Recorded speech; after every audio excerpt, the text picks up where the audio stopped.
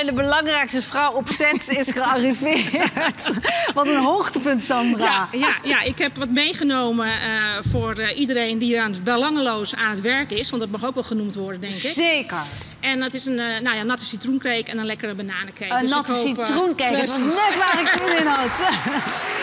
Dus Sandra Hofman, cateraar. Uh, heel, heel goed dat je ze allemaal benoemt. Alle cameramensen, ja. alle mensen hier van de techniek, van de redactie, van de regie, in de regiewagen. Die allemaal belangloos meewerken en ja. uh, hier ja, graag een vuist willen maken. En ook jij, ik zei het al een beetje, toch wel de belangrijkste vrouw opzet. ik, ik, ik heb meerdere beroepen die ik beoefen.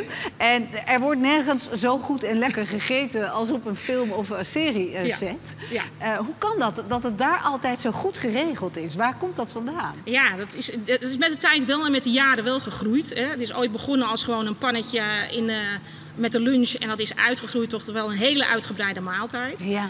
Maar ik denk ook wel dat het komt dat het steeds belangrijker wordt dat je dus goed eet. Ja. Weet je, uh, iedereen uh, die op een set staat, uh, crew en acteurs en kast en noem het allemaal op, die weten die maken lange dagen. En dan is het heel belangrijk dat er goed wordt gegeten en goed wordt gedronken. Ja. En daar zorgen wij voor. Nou, fantastisch. Ja. Als presentator zit ik altijd een beetje in de snoeppot te grabbelen die dan op set staat. Maar als actrice dan heb je gewoon een drie gangen menu tussen de middag. en die wordt mede door jou verzorgd. Jij, ik las ergens toen jij voor het eerst op een filmset stond, uh, toen, toen, wist je, dit, hier komt alles samen wat ik ja. leuk vind om te doen. Ja. Wat is dat? Ja, het is, ik, ik heb nooit gewild. Ik heb nooit, zeg maar, je hebt ook geen opleiding voor. Dat bestaat ook niet. Dus ik werd cateraar en ik ben er per ongeluk ingerold. En dat ging uh, zo hard rollen dat ik uiteindelijk drie jaar geleden mijn eigen truck, hè, zo noemt dat. Ja. Daar bouw je een hele keuken in. Dan laat je bouwen en dan uh, mag je je ding gaan doen op set. En ja. op is toch een speciale wereld. Het is een heel apart universum wat we creëren. Ja. we komen aanrijden met de materiaalwagens en met dus de cateringwagen. We zetten ons, worden neergezet door de locatiemanager. Ja. En dan ga je je ding doen. En dat gaat elke dag, gebeurt dat weer. Het is een heel apart fenomeen. Het is ook heel lastig om aan mensen uit te leggen die niet het wereldje kennen, hoe dat gaat. Hoe je dag eruit Ja, en wat je heel vaak van actrices en acteurs hoort van ja, we vormden een familie en nu moeten we afscheid nemen. En toen dacht ik vroeger altijd van nou ja, dat zal wel meevallen. Maar het is daadwerkelijk zo. Ja. En of je nou vijf dagen met elkaar draait of die draait er 32, je vormt een groep, je ja. vormt een heel hecht team. En iedereen, ja, die doet zijn ding erop. En je ja. wordt dus familie. En vaak is degene die de catering doet, die weet dan ook na een paar dagen... ach, Jan die lust graag een beetje ja. amandelmelk in zijn koffie. Ja. En Harry die wil altijd twee toetjes. En, en dat, dat, is ook, dat heeft een beetje dat familiegevoel, Absoluut, toch? ja. En dat is ook het leuke. We hebben natuurlijk allemaal in deze wereld nu allemaal onze uh, allergieën en dieetwensen. Ja, wat net en, zeggen. Is dat, Heb je nu steeds meer... Uh... Ja, absoluut. Maar dat is ook geen probleem. Weet je, ik vind als het maar kenbaar wordt gemaakt... kunnen wij filmcateraars kunnen daar gewoon rekening mee houden. En je wil juist iedereen, wil je gewoon verzorgen. Want dat ja. is wat wij doen. He, we brengen een stukje liefde en we brengen een stukje rust ook zo vaak op de set. Ja. We hebben allemaal in onze auto van die heerlijke koffiemachines tegenwoordig. Ja, fantastisch. Ja, dus je komt, he, alle, iedereen komt langs, de crew en de kast, even om een momentje rust te pakken. En over uh, de bijtjes en de bloemetjes te praten. En uh, er wordt soms ook uitgehuild in de bus. En er wordt soms geschreeuwd in ja. onze bus. En er wordt vooral veel gelachen op onze bus. Ja. ja. En daarnaast mogen we doen wat we het allerleukste vinden, dat is koken. Want die bus, uh, je zei het net al, een paar jaar geleden heb je eigen bus gekocht. Dat ja. is misschien ook wel gelijk de grootste investering. Ja, hè, absoluut. Voor als je in de catering zit, want het is heel belangrijk.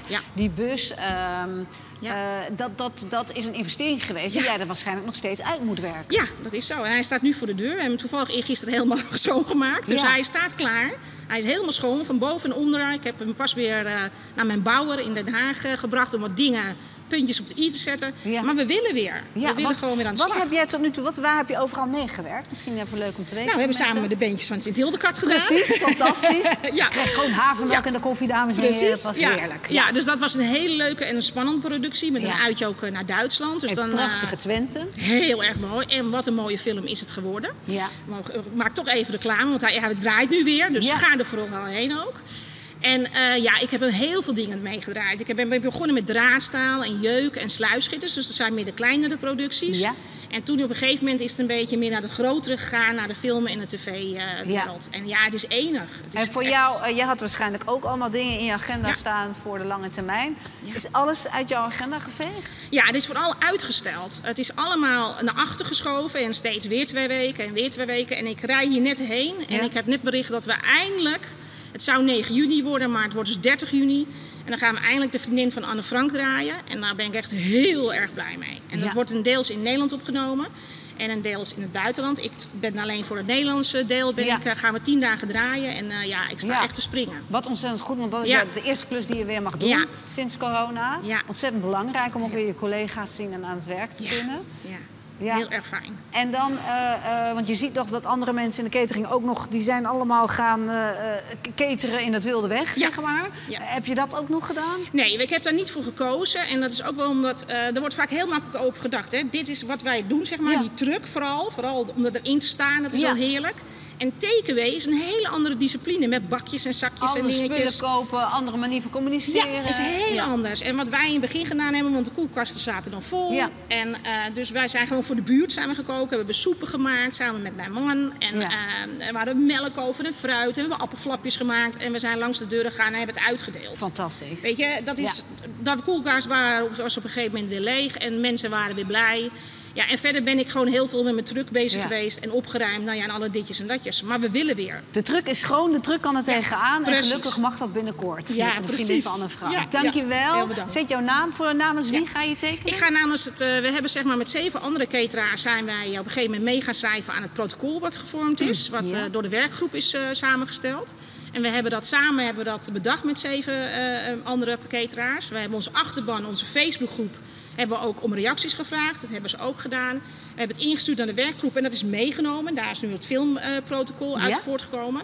En het positieve, want het mag ook wel een keer benoemd worden, denk ik, dat we nu met die club van zeven cateraars hebben we nu hè, een Facebookgroepje. We hebben gezoomd, zoals iedereen dat op dit moment doet. Ja. Hebben een hele positieve, leuke groep gevormd. En we zijn er nu voor elkaar en we kunnen elkaar bellen en hè, bij ziekte of wat dan ook. Of dat je, en dat is echt heel erg fijn. Dus ik wil graag namens die zeven cateraars, maar ook namens de achterban van onze Facebookgroep, en dat zijn er ongeveer 50, eh, wil ik de handtekening graag Nou, neerzetten. 57 mensen. Precies. Voor je weggaat met Ja. die heerlijke schaal. Ja, doe maar lekker, ja. Pak ik toch Ja, een cakeje van je. doen. Dankjewel voor je goede zorg en heel goed. succes. Dankjewel. Ik Dank. zal meenemen en Ja, precies, voor de mannen.